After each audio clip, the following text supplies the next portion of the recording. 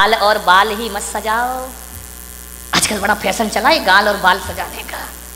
अच्छा। नहीं, एक आया था मैं यहीं बैठा हूँ एक लड़का।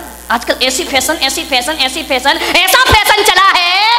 वो बाल है ना, इधर से गायब, इधर से गायब। है, चार अंगुल इधर से गए, चार अंगुल इधर से गए, बीच में रखा हुआ है। मैंने कहा, क्या हो गया इस आदमी को?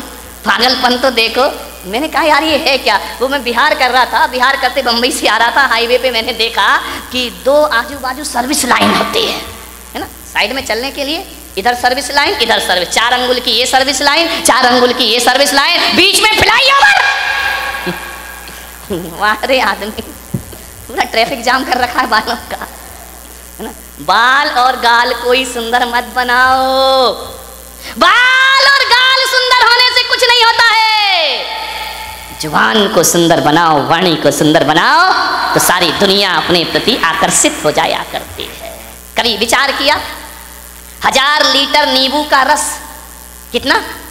कितना? हज़ार लीटर नींबू का रस। यदि इस पंडाल में लाके रख दिया जाए तो एक भी चीटी उसकी तरफ़ आकर्षित नहीं होगी। हज़ार लीटर नींबू का रस, एक भी चीटी उसके पास नहीं आएगी। और एक बूंद चाशनी गिरा दी जाए। हज़ारों चीटियाँ उसकी तरफ़ आकर्षित हो जाया करती हैं। हज़ारों चीटियाँ उसकी तरफ़ आ जाती हैं। अपनी वाणी को नींबू जैसा खट्टा मत बनाओ। अपनी वाणी को चाशनी जैसा मीठा बनाने का प्रयास करिए। हज़ारों लोग आकर्षित हो जाएँगे मीठी वाणी से। हज़ारों लोग तुम्हारी तरफ़ आएँगे। वाणी में मिठास होना खट्टा नींबू, क्या दशा होती मालूम? नींबू की बेचारा बाज़ार से आता है, यूँ यूँ दबाया जाता है, दबाने के बाद उसे चाकू से काट दिया जाता है, दो टुकड़े कर दिए जाते हैं, फिर निचोड़ा जाता है, और निचोड़ने के बाद सड़कों पर फेंक दिया। खट्टे लोगों की यही स्थिति होगी ध्यान रखना। निचोड़े जाओगे, सड़कों पर फेंके जाओगे, सैकड़ों लोग तुम्हारे ऊपर लाते रखे निकल जाएँगे। चाशनी बनो, मीठे बनो, वाणी में बीणा की झनकार होना चाहिए। लेकिन आज बीणा की झनकार नहीं, वाणी में बाण बसे हुए हैं, ध्यान रखना। एक महाभारत का युद्ध हुआ इस देश में। एक बात याद रखना, ये महाभारत द्रौपदी के चीर हरण से नहीं हुआ है। ये महाभारत जुए में हार जाने से भी नहीं हुआ है, ध्यान रखिए। ये महाभारत शकुनी के पासे बदलने से भी नहीं हुआ है। ये महाभारत इस देश में यदि हुआ है तो ध्यान रखना दुर्योधन के कारण भी नहीं हुआ है। ये महाभारत इस देश में यदि हुआ है तो द्रौपदी के कारण इस देश में महाभारत की रचना हुआ करती है। मान्यवर, आप विचार करिए। जब पांडवों को खंड प्रस्थ दिया गया कि जाओ पांडु पुत्र धृतराष्ट्र ने कहा खंड प्रस्थ तुम्हें दिया जाता है। पूरा हस्तनापुर दुर्योधन को दिया जाता है। ध्यान रखना। प्रस्ताव रखा। सुलह की बात हुई। दुर्योधन ने खंड प्रस्थ दे दिया, जहाँ ना पानी बरसता था, ना जहाँ फ़सल होती थी।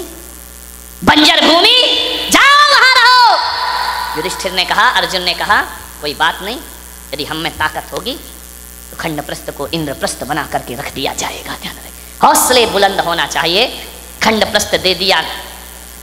जहाँ पर खंडरी खंडर है, बंजर भूमि है पाँचों पांडवों ने पुरुषार्थ किया मेहनत की खंड प्रस्थ को इंद्रप्रस्थ में तब्दील कर दिया और इतना सुंदर बनाया। आज कितने भी बड़े आर्किटेक्ट हों, वो व्यवस्था नहीं ला सकते हैं। कैसे लोग थे, कैसी बुद्धि थी उनकी? बिना पढ़े लिखे भी इतना सब कुछ कर लिया करते थे। इतना सुंदर महल बनाया, पूरी दुनिया में चर्चा हुई कि युधिष्ठिर अर्जुन ने इतना सुंदर इंद्रप्रस्थ बनाया है। हज़ारों लोग देखने जा रहे हैं, बहुत खूबसूरत। दुर्योधन ने कहा कि मैं भी तो चल के देखूँ। गया इंद्रप्रस्थ में और जैसे ही इंद्रप्रस्थ पहुँचा दुर्योधन, इतना अद्भुत महल था जो दिखता था, वो होता नहीं था। और जो होता था, वो दिखता। दुर्योधन ने अपनी धोती संभाली, उसे लगा कि यार यहाँ तो पानी पानी दिखाई दे रहा है। धोती संभाल करके चल रहा है, वहाँ तो पानी था ही नहीं, केवल दिखाई देता था। आगे देखा दुर्योधन ने, रंगोली बनी हुई है।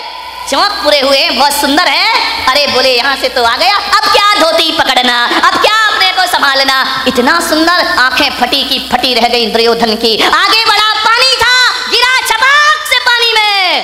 पूरे कपड़े गीले हो गए। जोरदार अट्ठास हुआ झरोके से। बड़ी ज़ोर से व्यंग की हँसी आई। उसने कहा, देवर जी, ये क्या हो गया? द्रौपदी की आवाज़ आई, गिर गए। अरे, संभल के चलना सीखो, देवर जी। पानी में गिरा हुआ दुर्योधन भीगा हुआ। द्रौपदी ने कहा, गिर गए ना? अब पता पड़ा कि इंद्रप्रस्थ क्या है और हस्तनापुर क्या है। अरे तुम कैसे संभलोगे? अंधे का पुत्र! अंधा ही होगा। बस यहाँ से महाभारत शुरू हो जाया करती है। द्रौपदी का चीरहनन महाभारत नहीं था। जुए में हारना महाभारत नहीं था। द्रौपदी का एक तीखा वचन कि अंधे का पुत्र, अंधा ही होगा। बस इतनी सी वचन महाभारत की रचना करते हैं, ध्यान रखिए। उसी दिन दुर्योधन ने कसम खा ली कि आज जो अपमान तूने मेरा किया है, आज जो भरी सभा में तूने मेरा उपहास किया है। ठहर जा। एक दिन भरी सभा में तुझे नग्न नहीं किया तो मेरा नाम भी दुर्योधन नहीं होना चाहिए। इतनी सी बात ध्यान रखना। शब्द को संभाल के बोलिए, शब्द संभाल के बोलिए। शब्द के हाथ ना पाओ ध्यान रखिए। एक बाणी जीवन को तबाह कर देती है। अपमान किसी का मत करो। ध्यान रखना, बड़ा आदमी तो छोड़ो। छोटा सा तिनका का भी अपमान मत करना, वरना कितने भी बड़े योद्धा बन जाओ। एक तिनका आँख में चला जाए तो सारा युद्ध धरा रह जाया करता है, ध्यान रखिए। वाणी अच्छी बोलिए। किसी को अपमानित मत करिए। एक तीखे वचन ने एक कटु वचन ने महाभारत की रचना कर दी, ध्यान रखिए। मीठा बोलो। अच्छा बोलो।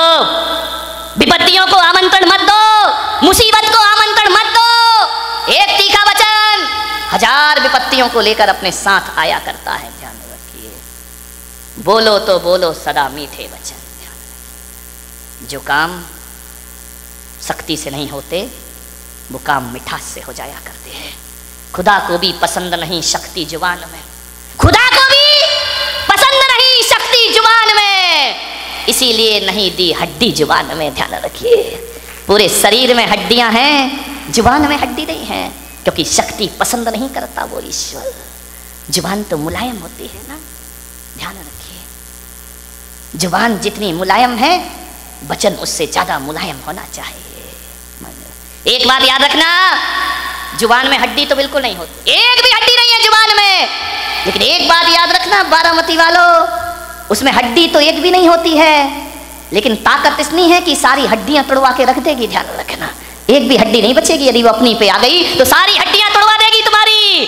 बहुत महत्वपूर्ण है ज़ुबान का, ध्यान रखना। आँख एक है, आँख दो है, काम एक है। ये आँख भी देखती है ये आँख भी देखती है। कान दो है, दाया कान भी सुनता है, बाया कान भी सुनता है। नासा द्वार दो है, दाई नासिका। रामदेव बाबा, अनुलोम विलोम। दो होती है, ध्यान रखिए, विचार कर बड़ी दिक्कत हो गई इस देश किस्मत है मेरी कि इतनी महिलाएँ और इतने पुरुष मेरे प्रवचन में आ रहे हैं, वरना टाइम किसके पास है? महिलाओं के पास तो और भी नहीं है। एक महिला से मैंने पूछा, प्रवचन में नहीं आती? बोले, नहीं आती महाराज। मैंने कहा, क्यों नहीं आती है? बोले, करूँ क्या महाराज? रात को बारह बजे तक तो एकता कपूर जगाती है। रात को बारह बजे तक तो एकता कपूर नहीं सोने देती है। और सवेरे चार बजे रामदेव बाबा जगा देते हैं। हम करें? कहाँ से आए तुम्हारे प्रवचन में? इतने बिज़ी हैं हम लोग, ध्यान रखिए। समझिए। मानने वाला दो नासा है काम एक ही है। दो हाथ है, काम एक ही है, दो पैर हैं, काम एक ही है, दोनों पैर चला करते हैं। लेकिन ज़ुबान अकेली है, इकलौती है, इकलौती औलाद है अपनी लीलावती। ये साली लीला यही कराती है, यही रास लीला करा दे, यही राम लीला करा दे। लीलावती का सावधान इस लीलावती से। दो अंगुल की ज़ुबान पाँच फिट के शरीर का सत्यानाश करा सकती है, ध्यान रखिए। ये जो लीलावती बैठी है ना इस पे कंट्रोल रखो कंट्रोल कंट्रोल ध्यान रखिए। ये जो लीलावती है, बहुत नटखट काम करती है। पूरे शरीर में अकेली है, इकलौती औलाद है इस मुँह की। लेकिन एक बात ध्यान रखना, ये जो लीलावती है ना, है तो अकेली, काम डबल करती है। ध्यान रखना, एक चखना और एक बकना, ध्यान रखिए। जो दो है, वो एक काम करते, जो अकेली है वो, ये चखती भी है और मीठा खाना याद रहा, पर मीठा बोलना भूल गए, ध्यान रखिए। एक तोता तीखा तीखा खाता है, मिर्च खाता है तोता। मीठा मीठा बोलता है, और हम मीठा मीठा खाते में बोल दो। तीखा तीखा बोलते हैं हमें ज़ुबान से। ज़ुबान को संभाल के रखो। वाणी सुंदर बनाओ। एक कितनी भी सुंदर महिला हो, खूबसूरत महिला हो आसमान से उतरी हुई परी हो। ध्यान रखना। आप सोचते हो ना कि थोड़ी सी लिपस्टिक से हम बड़े अट्रैक्टिव लगेंगे। नहीं नहीं। कौन बोला, महाराज, हमारे पीछे क्यों पड़े हो तुम? ध्यान रख। लिपस्टिक लगा के आप सोचते कि हम सुंदर हो गए हैं। मैं आपसे निवेदन करता हूँ, ओठ कितने भी सुंदर बना लो, कितने भी लिपस्टिक लगा लो, कितने भी पतले ओठ हो जाएँ तुम्हारे, कितने भी गुलाबी ओठ हो जाएँ, लेकिन वाणी कड़वी हो। तो बताइए, आपका सौंदर्य कितनी देर टिकने वाला है? ओठों का सौंदर्य ज़्यादा नहीं टिका करता है। मुझे तो समझ नहीं आता है, ये महिलाएँ लिपस्टिक लगा के अपने को सुंदर समझती हैं। आदमी तो लिपस्टिक नहीं लगाता ना। नहीं, बारामती का मुझे पता, लगाते हो क्या? नहीं लगाते ना। एक बात बताओ, ये सोचती है लिपस्टिक से सुंदरता बढ़ती है तो लिपस्टिक लगा के सुंदर दिखने वाली देवी हो, बिना लिपस्टिक वाले पे क्यों मरती हो? फैसला करो, फैसला। ये ये तो लिपस्टिक जान इन पे देती है लोग। ध्यान रखिए। इसका मतलब है, लिपस्टिक कितनी भी अच्छी हो, चेहरे की सुंदरता कितनी देर की? आधे घंटे। एक बात बताओ। एक सुंदर चेहरे को एक बार देखोगे, दो बार देखोगे, तीन बार देखोगे, बार बार देखोगे, उस चेहरे से भी जी भर जाएगा। ध्यान रखिए। ध्यान रखना। ज़्यादा सुंदर चेहरा कितने दिन अच्छा लगेगा? एक साल दो साल कितनी भी सुंदर पत्नी ले आओ बेटा साल भर बाद तो वही हालत है कि वो बड़बड़ा रही है अपन चुपचाप सुन रहे हैं बैठ करके। ए, खाना खाएगी तभी बोलेगी। ध्यान रखना ये आदमियों की ज़िंदगी इसी में बेचारे हर थके हुए हारे हुए तो आते हैं दुकान से। वो जैसे ही आया और इनकी रामायण शुरू हो जाया करती है। देवरानी ने ये कहा जिठानी ने वो कहा तेरी अम्मा ने एक परसते भी जा रही है। महिलाओं से निवेदन है जब पति घर में आए उसकी थाली में रोटी परोसो, रोटी। दिन भर की किचकिच मत परोसो उसकी थाली में, वरना थाली फेंक करके इतना परेशान उसी समय। मैंने एक महिला से बोला खाते समय क्यों बोलती हो? बोले, खाते समय तो वो चुपचाप सुनता है। मुँह में रोटी रहती है, सुनते रहता है। अपन बोलते जाओ। देवी बोलते जा रही, बोलते जा रही, बोलते जा रही है। वो बेचारा खाते जा रहा, खाते जा रहा। क्या करे? इधर सुने या इधर सुने? खा रहा। ऐसी हालत है जैसे सड़क के किनारे भुट्टा सीखता है ना? भुट्टे नहीं सीखते रहते। वो एक हाथ से हवा करते जा रहा, भुट्टा सीखते जा रहा, हवा करते जा रहा, भुट्टा सीखते जा रहा, रोटी पटकते जा रही, भुट्टा सीखते जा रहा सीखते जा रहा सीख गया भुट्टा। क्या रोटी खाए बेचारा? ध्यान रखो, खाते समय तो कहा है, कुत्ते को भी परेशान। ये तो फिर क्या बोली? इतनी तेज है बारामती की महिलाएँ।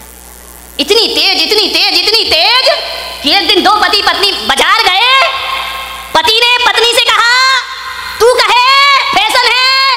तू कहे तो एक कुत्ता खरीद ले। पत्नी ने ऊपर से नीचे तक देखा। बोले, क्या ज़रूरत है? बोले, जब से तुम मिले हो। कौन बोला, हर तमन्ना पूरी हो गई मेरी। ध्यान रखिए। मान एक बच्चा रो रहा था। बहुत जोरों से रो रहा था पत्नी ने कहा देख भी नहीं सकते हो बच्चा रो रहा है मैं खाना बना रही हूँ तो बोले, पहले सुन तो ले, काय के लिए रो रहा है? अरे बोले, जो भी रो रहा, कर दो पूरा। बोले, नहीं, पहले सुन। बोले, क्या? ये रो रहा है कि मुझे गधे पे बैठना है। तो पत्नी ने कहा, कंधे पे बिठा के तीन चक्कर नहीं लगा सकते क्या? कुछ लोगों को घर जाके समझ में आएगा। ध्यान रखिए। एक बार यही दुर्घटना घट गई। एक बच्चे ने पूछा अपनी मम्मी से कि, मम्मी, एल्बम देख रहा बोले, पापा, घोड़े पे बैठ के आ रहे हैं। बोले हाँ। बोले, मम्मी, एक बात बताओ। ये शादी में दूल्हा घोड़ी पर बैठ कर ही क्यों आता है? गधे पे बैठ के क्यों नहीं आता है? बोले, बेटा, एक गधा दूसरे गधे पे नहीं बैठ सकता है। ध्यान रखिए। मीठा बहुत मीठा बोलिए ज़िंदगी मीठी बाड़ी बोलिए। विचार करना है आपको। वाणी में मिठास भरो लिपस्टिक जीवन सुंदर नहीं होता है। लिपस्टिक की सुंदरता एक दिन, दो दिन, तीन दिन। साल भर बाद वो चेहरा बेकार लगने लगता है। ध्यान रखना। लेकिन वाणी मीठी हुई ना तो मिलते समय भी अच्छा लगता है। और बिछड़ जाओ। तो मीठी वाणी की याद जब जब आती है, तब तक सुख की अनुभूतियाँ प्रारंभ हो जाया करती हैं। मीठी वाणी तो वो होती है, बिछड़ने के बाद भी आदमी को याद रहा करती है। ध्यान रखिए। मैंने बारामती में भी ज़्यादा घूमा नहीं हूँ। उधर गया था पीछे। एक दिन इतने सुंदर मकान। मैंने कहा, क्या गजब कर रिया भाई। मैं तो आया था गाँव समझ के, लेकिन ये तो शहरों को भी पीछे कर रहा है। ध्यान रखिए। डाउट है तो ताली मत बजा है ना? इतने सुंदर मकान, इतने सुंदर मकान।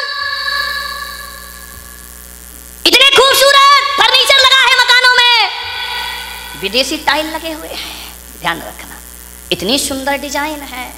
महँगा फर्नीचर, महँगी कार खड़ी है दरवाजे के बाहर। विदेश से पर्दे मंगा के लगाए गए हैं। एक से एक सीनरी लगी हुई है। खूबसूरत संगमरमर लगा हुआ है। इतना सुंदर कि उसमें अपना चेहरा दिखाई दे जाए।